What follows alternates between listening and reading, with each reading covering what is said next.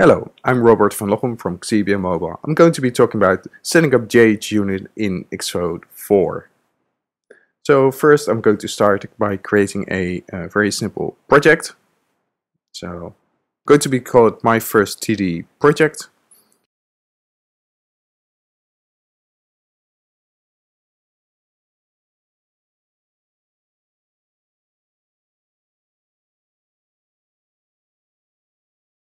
Make sure you don't include unit tests because we're not going to use OC unit, but we're going to use GH unit.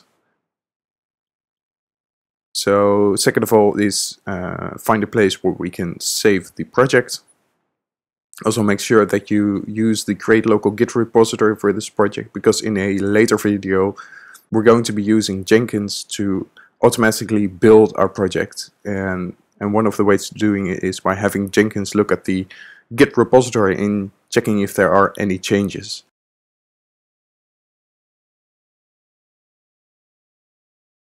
So now you see our uh, my first TDE project with uh, our target and if I run it you can see uh, that the application is loaded. There's a very nice table view, well the default of course, very simple.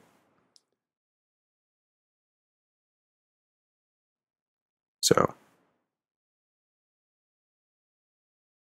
Let's quit the simulator again.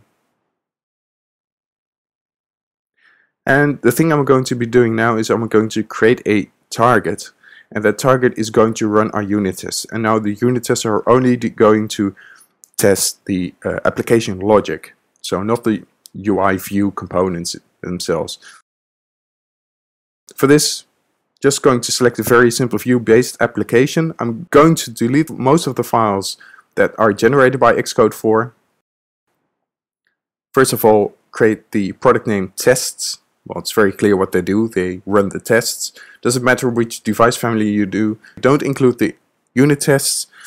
You can see that the tests folder has been created with lots of generated files, which we're not going to be needed, so I'm going to delete them somewhere later on. The first thing is add a framework. So in the build phases link binary with libraries, I'm going to add the GH unit, which you can download at this location. As you can see, it's not part of the standard iOS 4.3 SDK. So once you've downloaded it, just include it like uh, I'm currently doing. And one thing I'm doing here is I'm uh, including it from my own user directory because I've noticed that if I include it from the uh, slash developer slash library framework that uh, Xcode 4 will uh, give a compilation error and it will miss the header files.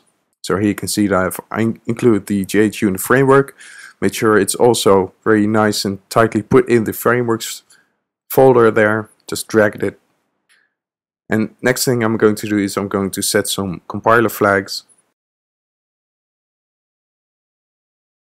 So in the other linker,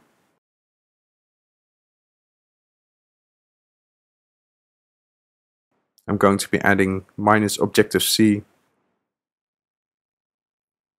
and minus all underscore load.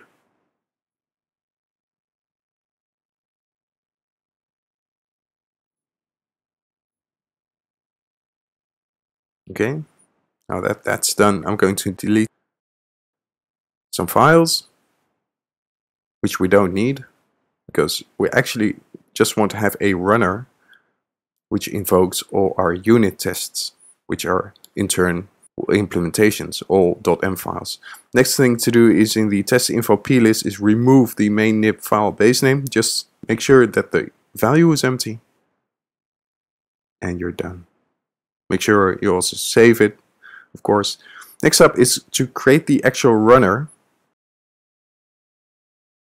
So make a class of NSObject. Make sure that the class is added to the test target and not the uh, my first TDE project.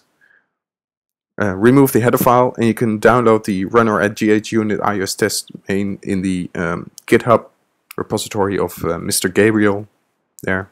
And next thing is I'm going to create an actual test case. So again, make sure it's added to the test target because I want those things to be compiled by the tests and run. And here's my actual uh, test case, which is called example test, which has two test methods, test foo and test bar. The test foo is going to fail now because I'm going to be comparing foo with bar, which is not equal.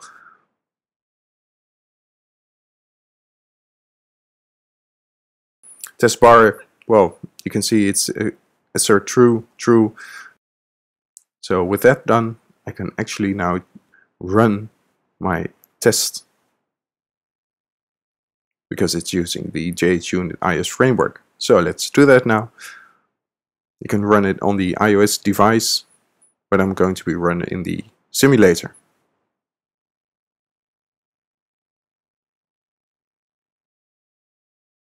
Ah, there's an error.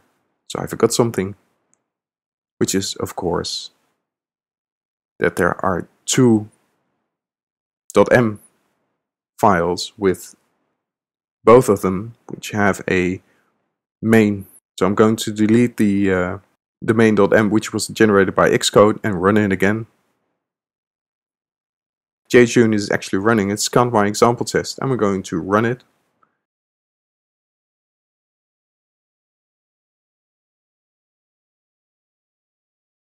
Then as you can see, test bar is green, or black in this case, works, but the test foo is red, and you can see a very nice stack trace. So you can also search and filter. So let's fix the uh, example test. Let's make it green, or in this case black. So I'm going to compare foo with foo, which is of course equal. Again, running it on the iPhone 4.3 simulator.